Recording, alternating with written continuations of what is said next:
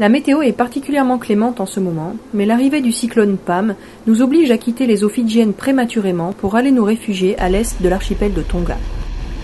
Après plus de 900 milles nautiques parcourus et 13 stations courtes pour caractériser le milieu, nous cheminons à présent vers notre prochaine station longue.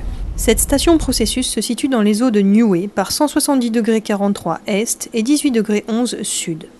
L'objectif principal de la campagne océanographique Outpace et de mieux comprendre le fonctionnement euh, de la pompe biologique euh, du carbone dans l'océan et son changement face euh, à l'évolution du climat sur la Terre. Comme on le voit sur ce schéma, le CO2 est échangé entre l'atmosphère et l'océan de surface. Ensuite, ce CO2 va être incorporé dans la biomasse au cours d'une réaction qu'on appelle la production primaire, qui est limitée par la disponibilité des éléments nutritifs et par la lumière dans cette région particulière de l'océan, la disponibilité nutritive est influencée par euh, la fixation d'azote. Le carbone ainsi incorporé dans la biomasse va être régénéré essentiellement euh, dans la couche de surface, mais une fraction va être exportée vers l'océan profond, et c'est ce transfert de carbone de la couche de surface vers l'intérieur de l'océan qu'on appelle la pompe biologique et qui fait l'objet principal euh, de cette étude. Donc cette pompe biologique à carbone ou capacité de l'océan à séquestrer du CO2, elle est considérée comme étant euh, faible dans les déserts océaniques. Ici dans le sud-ouest Pacifique, nous sommes dans un désert océanique mais un petit peu particulier puisque nous rencontrons des très fortes abondances de certaines microalgues que l'on appelle microalgues fixatrices d'azote atmosphérique ou euh, microalgues biofertilisantes. Elles ont la capacité d'apporter au milieu dans lequel elles vivent de l'azote en provenance de l'atmosphère et ainsi de rendre la vie possible dans ces déserts où elle ne l'était pas ou peu. Donc euh, nous avons beaucoup de chance ici dans le cadre du projet Outpace puisque nous mesurons des abondances de ces microalgues parmi les plus fortes de l'océan mondial.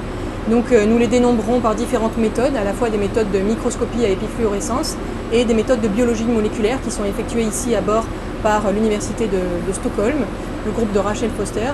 Et euh, cela nous permet, ces très fortes abondances de microalgues fixatrices d'azote, nous permet de réaliser les études de processus qui étaient prévues initialement sur, euh, sur Emprise.